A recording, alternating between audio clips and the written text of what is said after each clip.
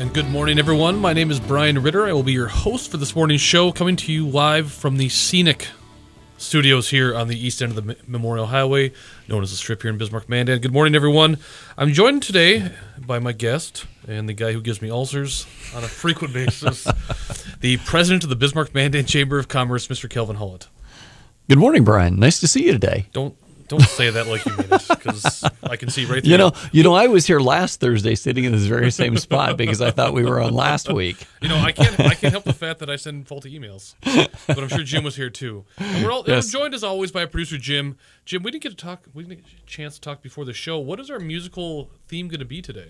I haven't the slightest idea. Boy, Jim, we've only got like five minutes of the first break. How so- about I'm just off the top of my head. Remember the group The Byrds, I do remember the Byrds. Mr. Tambourine Man? Let's go with the Byrds today. There we go. We're going. bir- I like that one. We're going with a little Because bit birds will be flying south very soon. That's a fact. As long as the snow doesn't fly. Today on the Dakota Housing Network, again, Kelvin's going to join us, and we're going to be talking about uh, some very exciting developments in Bismarck Mandan, some very exciting things that the Chamber of Commerce is working on. But we're going to start off today's show, like we do every show, uh, by talking about Bismarck Mandan by the numbers. Uh, if you will log on to our organization's website, the Bismarck Mandan Development Association, at www.bmda.org, you will find what's known as the economy at a glance. And the economy at a glance is a collection of economic indicators around Bismarck and Mandan. And that's important because I think as Kelvin knows, right now, everyone's got a story, everyone's got an anecdote or an example of how Bismarck Mandan is growing. And it's obvious when you drive around town what you see. But it's not always as easy or as evident to see what are the hard numbers behind that growth. And so these collection of indicators give us a good idea of that growth. We start off.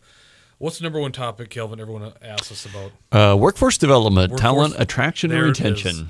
There it is. He, he hit it on the head. Didn't even look at my script.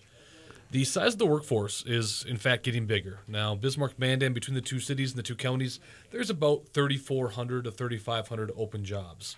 That is good for a roughly 2.9% unemployment rate right now, which is still one of the lowest in the country. It also shows us, also compares to the state's unemployment rate, which is about, oh, three and a half, four percent. Actually, well, three point two. Another thing we always ask about is, aside from the workforce, what I mean, how much money is being spent in our economy right now? And you look at uh, sales tax collections. That's probably the best indicator. I mean, I know Kelvin, you get asked by retailers a lot uh, if they're considering Bismarck Mandan, how much money is being spent in the economy. And I think the pretty easy answer is a lot. Yeah, it is. You know, it's it's been interesting to watch over the last six to eight months because I think a lot of people really felt like with the slowdown in the oil that that was going to have a uh, dramatic impact on our community. And I think what we've seen is that, yeah, there has been some impact on our community. It's probably leveled off. Um, instead of the straight up growth curve that we were on, we've we've uh, actually leveled a bit, and we're kind of getting a chance to get our arms around some of the um, some of the infrastructure issues and some of the other challenges within the community. And so, um, so you know, we still have a uh, a very vibrant economy, and part of that's, uh, as you always talk about, is because we have such a diversified economy in Bismarck Mandan. So, so yeah, um, you know, uh, it is uh, it has been fun to watch, and and it is obviously still um, a very dynamic and growing uh, community. if you've if, if you've heard a presentation from us in the past or you've been in our office, uh, our marketing and research director Judy Sauter is always very fond of reminding me to take a look at the long view, and not just compare month to month, year to year. In fact, if you look at our economy at a glance, uh, Judy includes a note that says there are large monthly swings when you look at sales tax collections. Don't compare one month to Yes. one month. If we look back, even if you go all the way back to 2002, 2003, this economy was really spending about a billion dollars. We did about a billion dollars in total taxable sales and purchases, which, as you know, is what everyone always asks us for. This last year, we did about 2.2 to 2.3 billion dollars. And you think about that for a moment. For, and for some perspective, it took our community's entire history to get to that one point where about a billion dollars. Right. And remember, at that point, what started happening around? Then all of a sudden, we had Kohl's and Best Buy and that whole. yeah, had a whole bunch of retail show up, about a million and a half square feet. That's right, and it showed up in one in kind of one shot. Mm-hmm. Well, then we crossed two billion, and what happened? We get a whole nother shot of retail coming up, whether Mm-hmm. it's Southeast Mandan or North Bismarck. Uh, that's significant growth, and so I think we're always quick to caution people that yes, it might feel slower, but it's because you're used to going 80 miles an hour on the interstate. That's just that's just the way it is. It feels slower because it maybe is. But Yeah. that's not a bad thing. Yeah. That's not a bad thing because guess what? We're still growing. you, you know, if you look at even another indicator, I know, and we're going to talk about this later in the show with Kelvin here because the Chamber of Commerce has been very uh, active in air service recruitment and had some very great successes. But if you've been out to the Bismarck Airport lately, you know that's a different world than it Yeah. was. Good luck on finding a spot to park. You got people parking in the grass. Yeah. car places parking almost out to Airport Road. It's pretty incredible. When you look at the passenger boardings, July of last year, these are the most recent numbers. We looked at July 20, 2014, about 21,700 boardings. July of 2015, that number had jumped to 23,600 boardings. I mean, that's that's a lot of boardings. And you look year to date, through July of last year, they did about 137. Through July of this year, we're at 147,000. I mean, that and that that is really a strong indicator of the level of growth in the community. Yeah, it really is. You know, when you have people that are utilizing the um, air services, and I, you know, I flew on, uh, actually, I was on Frontier here uh, a couple of weeks ago to Denver, and uh, there was not an empty seat on the plane. Um, I'm going to actually be on Delta here uh, this weekend, um, headed to uh, a quick set of meetings. Um, when I when I clicked on to uh, pick my seat, there wasn't really a there wasn't really a seat to pick. So and I'm, yeah. I'm with Kelvin because we, my wife and I, just booked booked a flight, and we're flying out at 5 a.m. I mean, the, the that sun, that lovely flight. the sun hasn't even thought about rising at 5 a.m. and we're on we're going to be in a plane and that's one of the biggest flights of the It day is. out of, out of Yeah. Mm-hmm. Bismarck. That flight is full. Again, when we went to pick our seats, you didn't have a whole heck of a lot to choose from. I really like getting out there at 3:30 in the morning. By the way. No, Kelvin's a liar. No, he doesn't. So we're gonna, as Jim promised you earlier in the segment, we're going to go out with the Byrds right now, and we'll come back. We're going to talk about prairie fire. Coming back to you on Super Talk 1270. Right now, 57. Get the app called Radio Pup for your iPhone and take us everywhere you go. Bismarck and Mandan's own Super Talk 1270. Woke up this morning with light in my eyes And we're back here on the Dakota Housing Network on Super Talk 1270 AM. Producer Jim is going with the Byrds today. Now, I can see his screen from where I'm standing. Is that Mr. Spaceman? Mr. Spaceman. Jim, are we going to have enough Byrds tunes to go through Oh, four yeah, segments? plenty of- yeah. We've got plenty of them, he says. Well, we're back here. My guest today is Kelvin Hullett, the president of the Bismarck Mandan Chamber of Commerce, and we just got done talking about the the recent growth that are, you know, it's not actually not all that recent anymore, is it, mm-hmm. Kelvin? No, it's really not. I mean, we can't say it's a really a passing. The continued growth. the continued growth of Bismarck Mandan, and and we talked about passenger boardings. We talked about the number, the amount of dollars being spent in our community. But one of the driving factors, beyond just the diversity and beyond the oil and gas impact, has really been the emergence of our community's startup, community, the, the emergence of our community's entrepreneurs. Why don't you talk about that? A little bit? You know, it really has. It was uh, back in, uh, I believe it was about 2008, 2009. Uh, MDU Resources hired a couple of interns for me one summer, and we did some research on entrepreneurship and put together a really interesting report. And I think after we all read that report, we went, hmm, we're not quite there yet. Um, and and so we've watched the evolution um, of entrepreneurship in our community over the course of the last uh, really seven or eight years. And then Brad Feld came out with his book, and I know you've read it and I've read it, and it talks about this idea of startup communities and the leaders and the feeders. And that was the piece that when we looked at uh, the the overall structure in 2008 that we were we really hadn't quite developed yet was that leadership group within the entrepreneur community that was going to lead the effort. Um, because as you know, chambers of commerce, development associations, we've all tried it in the past, and it just never worked. That's what they teach you in school. Yeah, exactly.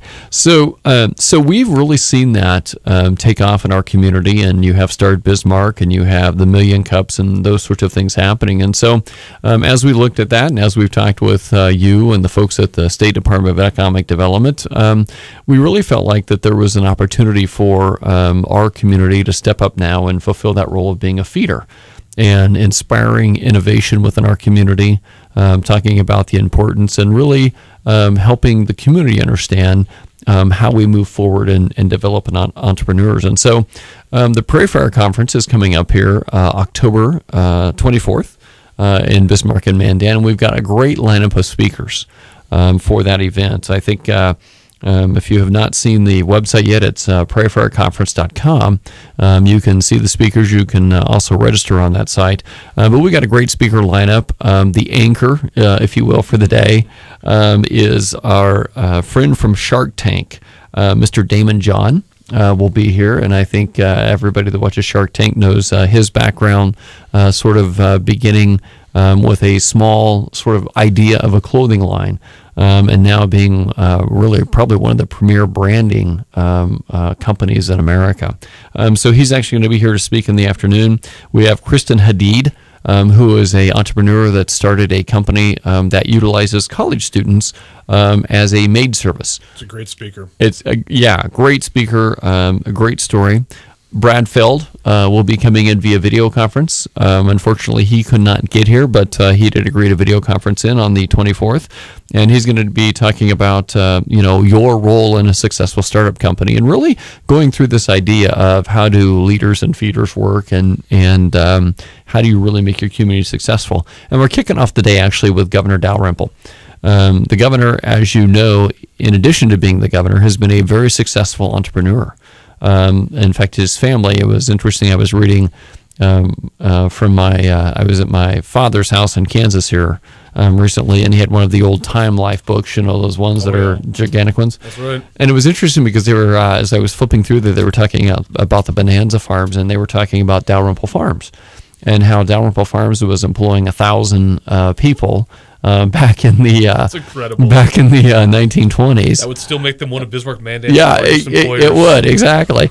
So it was really interesting, and so um, and then the governor's been involved in Dakota Pass and some other things. So he's going to be talking about his life as an entrepreneur as opposed to his life um, as as a governor, and I think that's going to be a really interesting conversation. So we've got a great speaker lineup. Um, we've really tried to make the price affordable um, so that folks can come. Uh, and so uh, uh, we're at, uh, I believe, $75 now for registration. And that includes uh, your uh, registration for the day. And then we'll also have breakfast and lunch and snacks and all of those sorts of things. So we really hope folks will come out, participate in the day. We put it on a Saturday. Um, so that entrepreneurs and small business people could uh, hopefully have a higher uh, percentage of participation than you know if we do it on a Wednesday afternoon in the middle of the week. So that's uh, that's kind of how the Pray conference, Pray for Our conference, is starting to shape up, and we're very excited about it. Well, Kevin, would you agree that this does mark a change in philosophy Mm-hmm. for our community in terms of how we approach entrepreneurial development? Because, like you said, uh, for years past, it's always been assumed that whether it was higher education or chambers or EDOs, Mm-hmm. things like that, really that we were supposed to be the leaders. And in fact, we're not entrepreneurs. I think both you and I would be the first to admit Yeah. we're not entrepreneurs.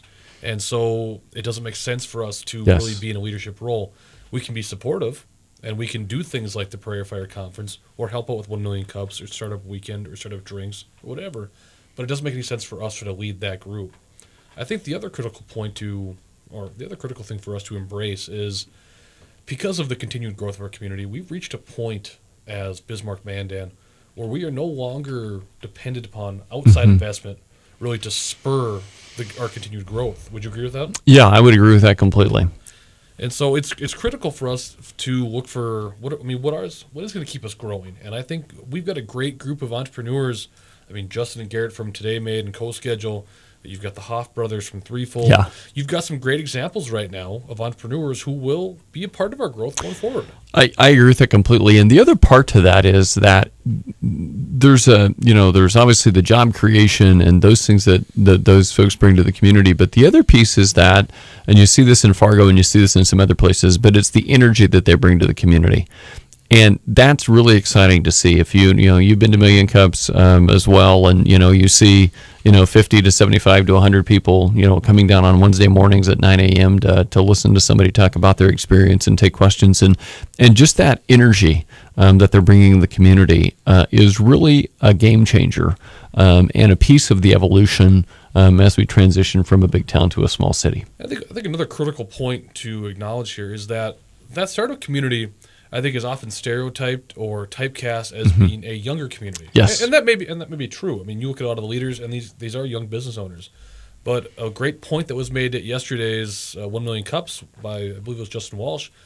Uh, age is not a requirement Right. to be part of that startup community. If you have an idea, no matter how old you are, what your station is in life, you've got a role. And and really, one million cups and events like Prairie Fire and others are designed to bring everybody together, regardless of age, regardless of what your current situation is, and really, again, uh, bring together, create that critical mass. Yeah.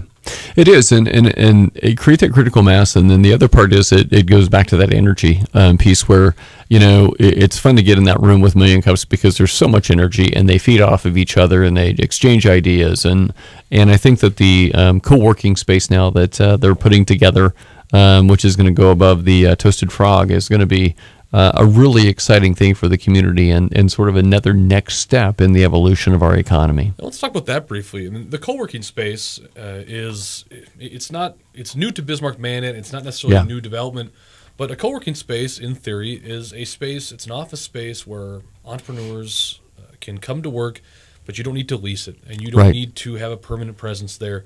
It's kind of a pay-as-you-go concept. Because oftentimes entrepreneurs, I mean, you're bootstrapping it. I mean, Mm-hmm. You're taking every you're bag, borrowing, and stealing for every single dollar you can, and maybe you don't need to spend thousand dollars a month or five hundred dollars on a, on a lease for an office space, but you need a place to go after work. Right. You need a place to go to start up, and that co-working space is going to be really be that for for Bismarck Mandan. It is, as I understand it. You know, you can you can rent a desk, or you can rent. Uh, I want to be up here X number of times per month. I mean, I think that it really does open up um, um, something that we've been looking for in our community. There's, you know, in addition to to you know Start Bismarck, there's also a women's entrepreneur group um, that is uh, really growing. I think they have about 80 members now. And so you really do see that um, that growth that's occurring, and I think the co-space is really um, that piece, one of the pieces that, that we've been missing, where entrepreneurs can um, really, in some ways, have a professional um, appearance. If they need to have a meeting, they can you know use the conference room, those sorts of things. So I think there's, I think it's going to be a really neat opportunity for our community. Now, if you take if you take the events like Prairie Fire, like and Kelvin said, you can still register. Kelvin, what's the website again for Prairie Fire? Uh, s- I'm sorry. What's the website for Prairie Oh, Fire? prairiefireconference.com. Thank you. so you've got events like Prairie Fire and One Million Cups every Wednesday morning, 9 a.m. down at Coda Stage. When you combine that with the co-space now, with Mm-hmm. the co-working space, you we really are creating more. ch- I mean, increasing the collisions. Yes. I mean, which it's kind of a, it's a cliched buzzword in our business. I understand that, but we're increasing the collisions and giving those entrepreneurs from wherever they might be in Bismarck, Mandan, an opportunity to come together and create that dynamic and to, to change the, dynam- the d- dynamics, spit that out, in Bismarck Mandan. It's it's really a joint effort. It is, and I think the other exciting part that we've seen within our entrepreneurship community is that it covers a broad range of things. You know, you obviously have the tech company, um, which you've referred to with uh, Today Made, um, and they're um, doing some really interesting things on the tech side. But then you have the Hoff brothers. Um, who are doing a you know a video um, company company. and, and have been seeing some some great success and and there's a number of others out there and uh, and then they've recently hired Hannah Haynes um, to come in and be the first director of uh, Start Bismarck, much to my dismay.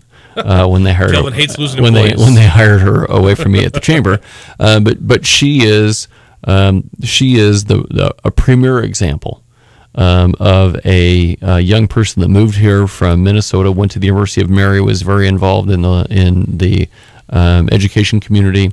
Um, was the intern with uh, for us here at the chamber for a couple of years, and then um, was working for us full time, and is now moving over.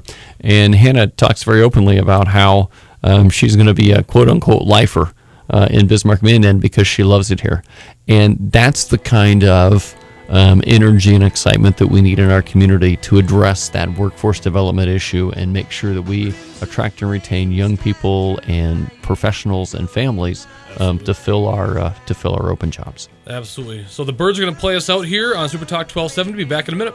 using ideas as my maps. We'll meet on edges soon, said I.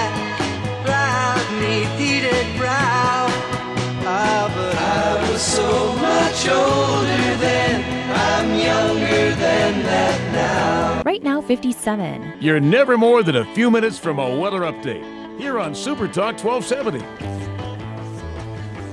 And as I mentioned before the last break, my name is Brian Ritter. I'm with the Bismarck Mandan Development Association, and it's the Byrds today. The musical theme is the Byrds. I think we should have Van Halen next time.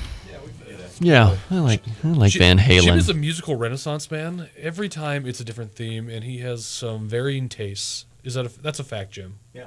We had the Beach Boys last time. That's right. Of course, it was 30 degrees warmer, so it was it was topical and tropical. No Celine Dion. Michael Bolton. No, Jim's shaking his head. You can't see that on the radio, but he's shaking his head right now. So I was uh, I was at some of the garage sales last week, and they had a lot of uh, the old vinyl albums sitting around. You know, they always have those at garage sales, and there was a lot of uh, Kenny G, and uh, um, so how many how many copies of Frampton comes alive?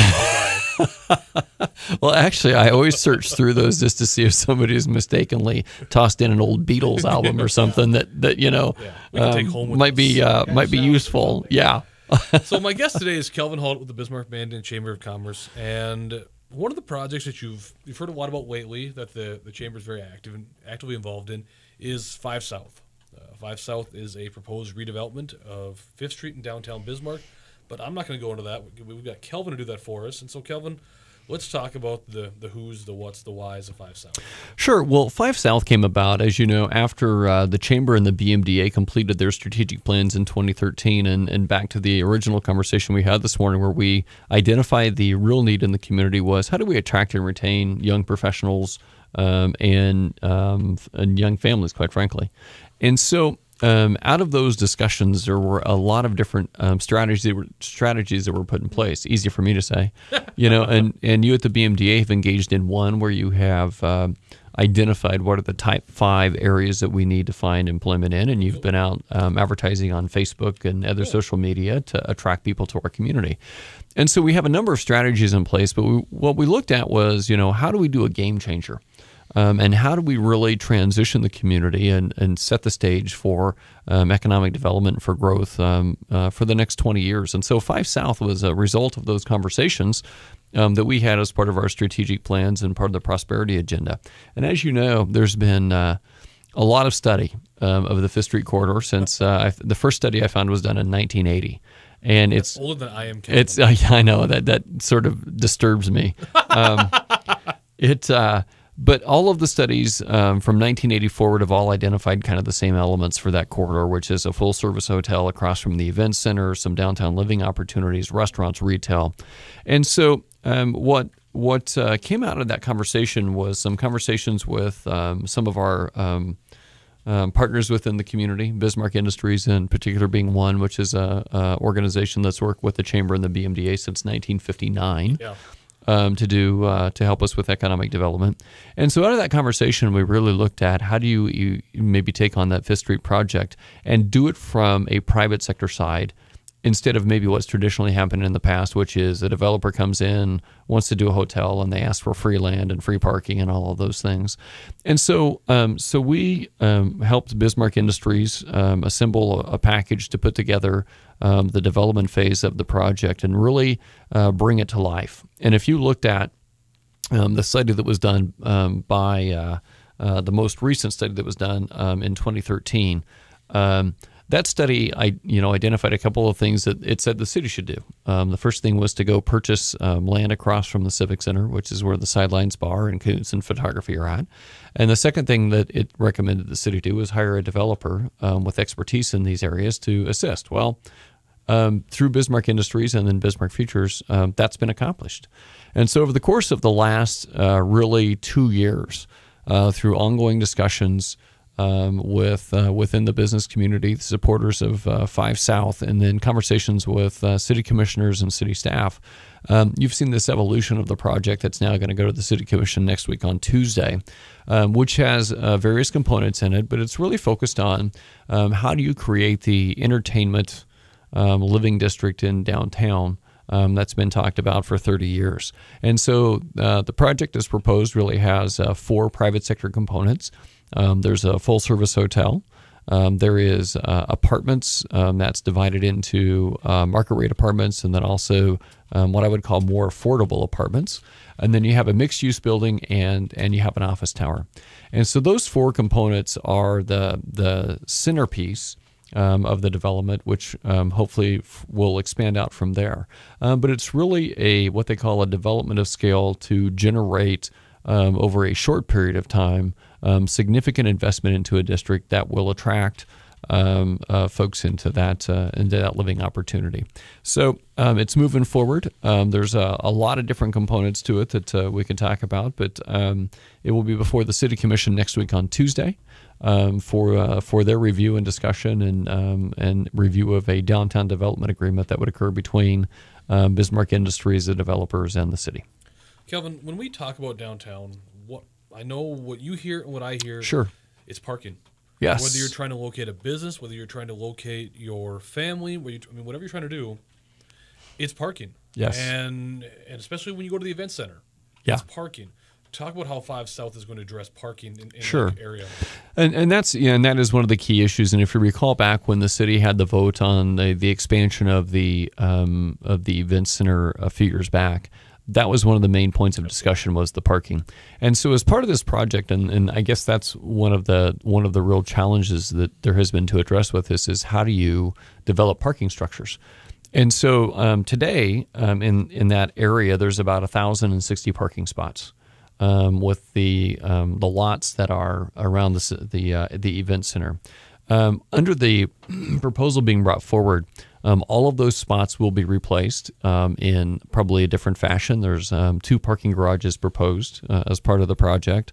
Um, there's development of some on-street parking, and I think in the end, there's projected to be um, some additional spaces that will that will come online over that 1,060.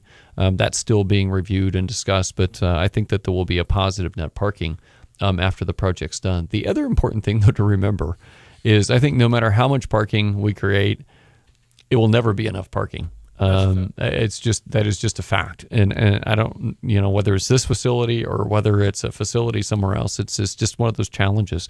Um, so um, so you'll see the the parking developed, and and and you know one of the points of discussions of this uh, of this development has been the tax increment financing.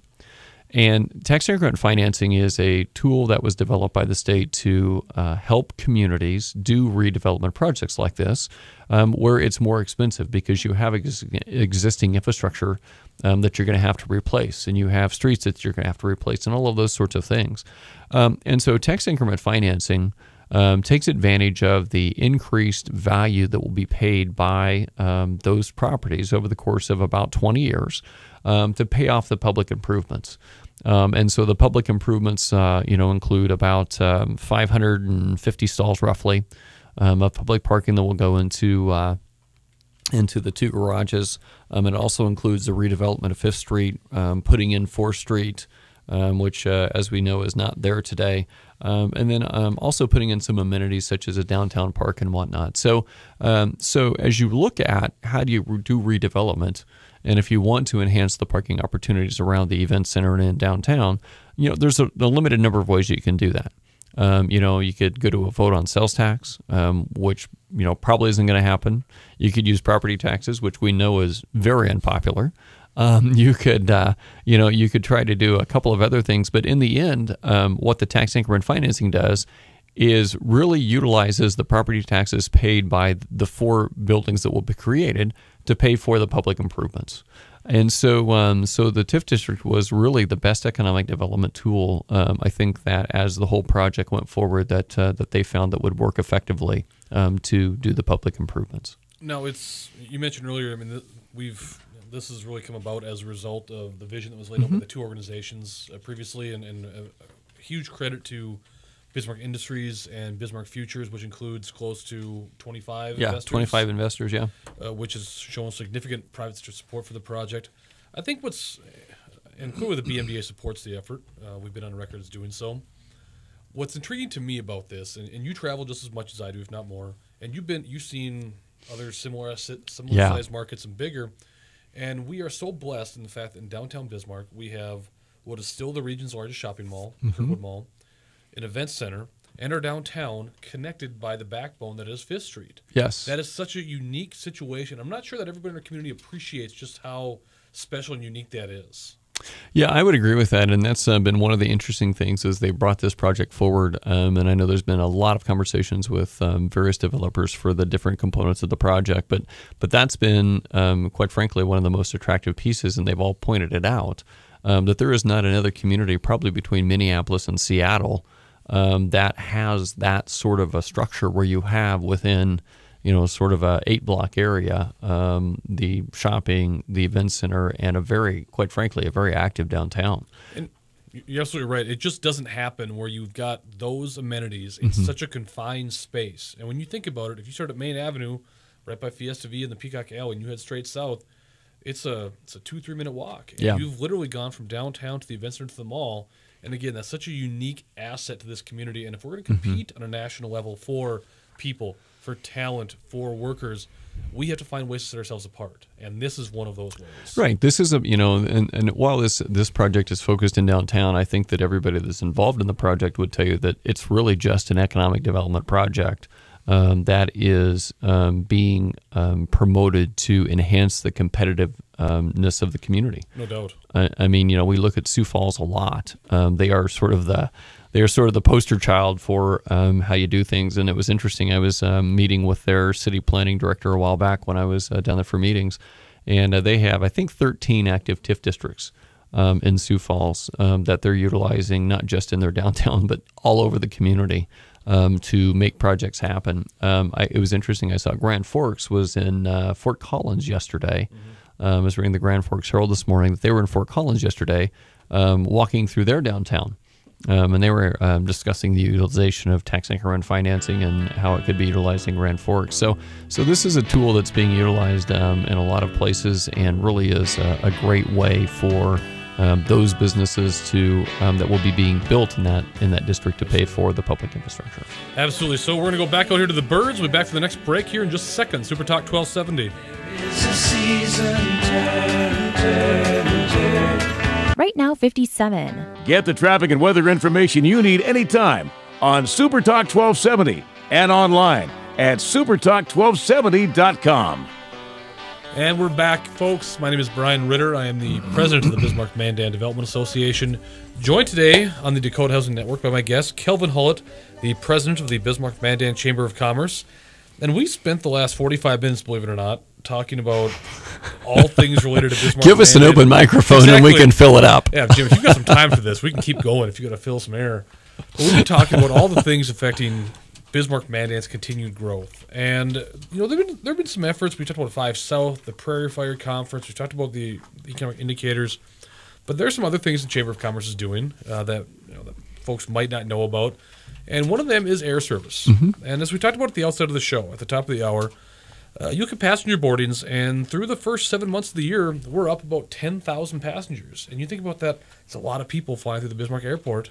Yeah, it is, and and I and I hope that we can attribute that to the new air service that we've brought in over the course of the last couple of years. you- and, and talk about that, Kelvin. Talk about what the Chamber has done, and talk about the Sure. efforts that, that you guys you have, know, and, led. and the air service has been an issue since I got here 12 years ago. I know it's been a discussion that you've been engaged in since you took over, and it's you know, how do you uh, how do you get folks uh, to here from here, and then how you do it at a price point that we can afford. Yeah. And so, um, a couple of years ago, actually, it was three years ago now, um, we worked with the Bismarck Airport and the Bismarck City Commission to um, get a um, um, to pull together a um, minimum, the minimum revenue yeah, guarantee. thank you. I, I The my, MRG. my brain was freezing I for saw a the minute. wheels yeah, turning. thank you. The listeners. Uh, I could. yeah, yeah. So we put together the MRG to recruit Frontier Airlines, and with that, what we had done was the business community guaranteed that we would buy three hundred thousand dollars in tickets the first year, and the city put up um, two hundred thousand um, as a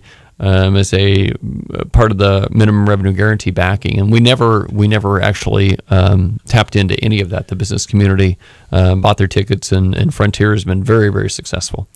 Um, so um, last year we actually it was actually right about this time that we announced the service for American Airlines.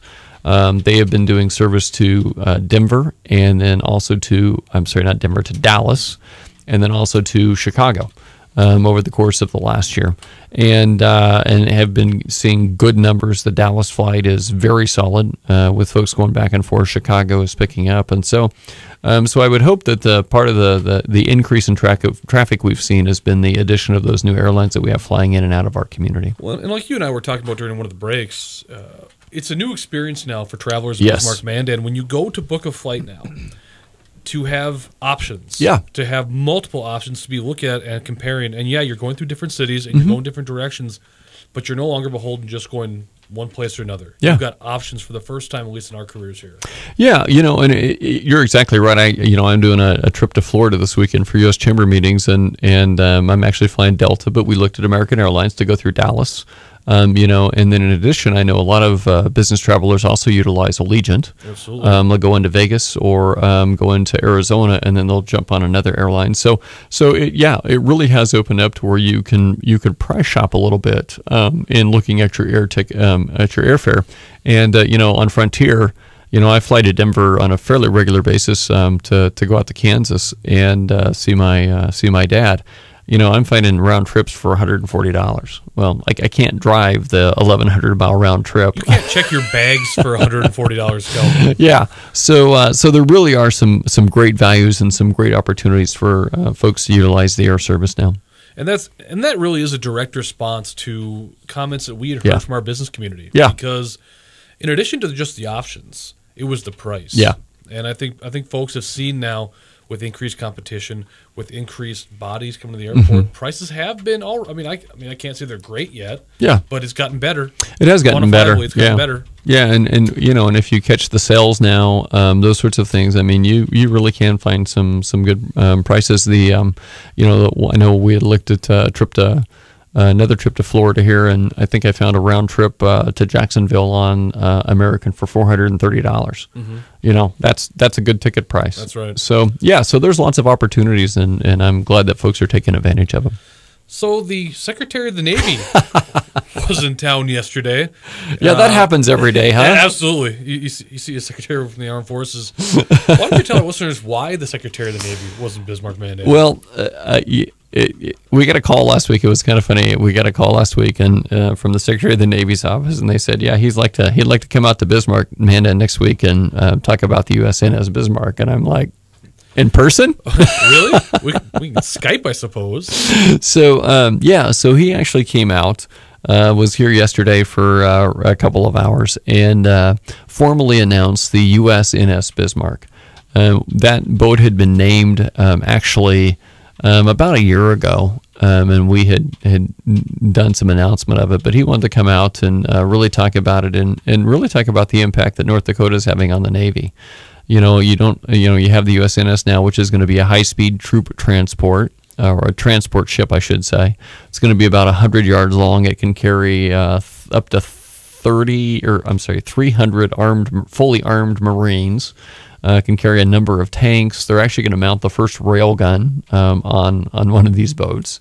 So uh, so it's really a cool boat, and uh, it can run up to I think I think the press release they never tell you exactly what these will do, but it'll go I think over 50 mile an hour. But 100 yards Yeah. long, that's a boat the size of a football field. yeah, yeah it's about the size of a football field. So, uh, so yeah, so it's uh, it's a really cool deal, and of course that comes on the heels of the of the USS North Dakota, which is the um, the submarine um, that we have uh, worked with since 2008, and getting it named and commissioned and all of that. And actually, the North Dakota just finished a really interesting mission. Um, they uh, had just got um, back from the Mediterranean, and they did the first ever deployment of underwater drones and uh, they wouldn't really tell us anything about that, obviously, 'Cause they can't because tell they can't really tell us anything. But uh, they were in the Mediterranean, uh, and apparently they release these drones, and the drones go out and do whatever they do, and then they come back to the boat. And so, uh, so that was ki- that was really kind of cool. So, so uh, not only talking about that, and, and I will tell you that North Dakota um, has really turned out to support um, the the submarine. I mean, when we did the commissioning, um, there were 500 people from North Dakota there. It was probably the biggest um, commissioning that they had had of people coming from a state outside of like a California or Florida, which are based there. So it was a huge commissioning. It really made an impression, uh, positive impression on the on the Navy. Um, but he also wanted to just you know talk about the impact that shipbuilding has on North Dakota. Um, you know, North Dakota has about uh, 400 jobs um, that contribute into shipbuilding, uh, and um, it contributes uh, $24 million to our economy here in North Dakota um, from those folks that are engaged in assisting the Navy with uh, with development of their uh, various vessels. So we want to talk about that, and then of course, one of the interesting things about North Dakota is we are totally landlocked, um, but we have um, not only a high percentage of participation in the military, but when you look at, um, in particular, the Navy leadership, You, you have Admiral Bill Owens, who became the vice chairman of the Joint Chiefs. You have Admiral Miller, who is currently the superintendent of the Naval Academy. You have Admiral Fowler, who was the superintendent of the Naval Academy, and you have Rear Admiral uh, Munsch, um, who is actually from Oakes, North Dakota.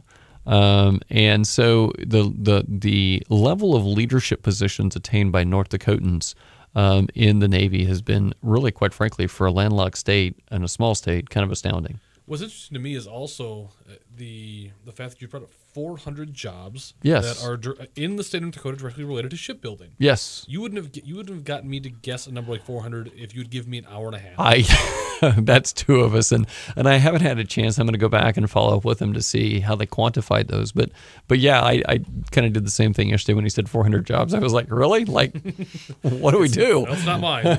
Do we build rudders?